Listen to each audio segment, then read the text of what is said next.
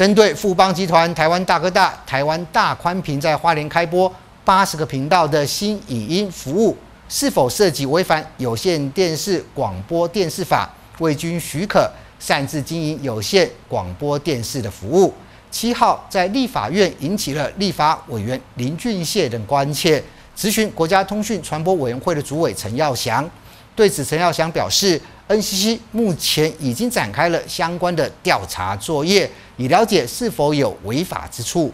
我想这部分没有压力啊，我我想我们没有什么压力。假使委员会已经判定它是有线电视，它就在依法要来申请啊。说是没有压力，发言人脸上挂满无奈。富邦持续摆烂，资料不给就不给，不甩。NCC 三月早就否决，旗下台国媒体印上花莲经营 OTT，摆明要跟中央对呛。你没有申请。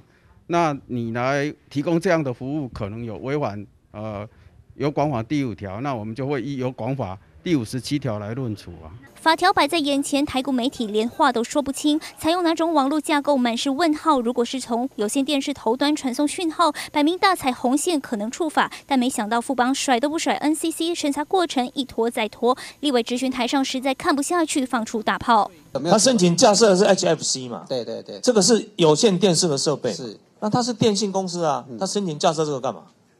那你为什么要准他？请教啊，有没有其他的电信公司也去申请架设这种设备？哎，对，电信没有嘛？台面下偷鸡摸狗，明着是电信，暗地里却拿下有线电视控制权。富邦甚至规避关系企业法令，不断拖延时间。堂堂一个大财团这么嚣张，NCC 难道也没辙吗？你被一个集团或者某个系统给垄断，是。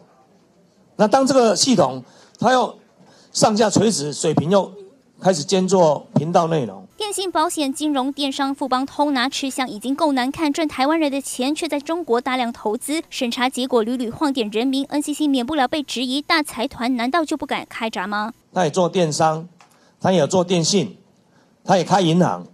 面对质询被问的哑口无言，NCC 主委只能搬出法律先挡挡，给不出期限下等同纵容富邦擅自经营有线电视，何时大刀阔斧祭出千万重罚，全民都等着看。记者综合报道。